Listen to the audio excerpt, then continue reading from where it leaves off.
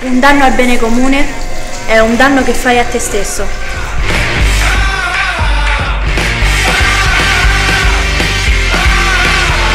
Il treno passa una sola volta, non perderlo.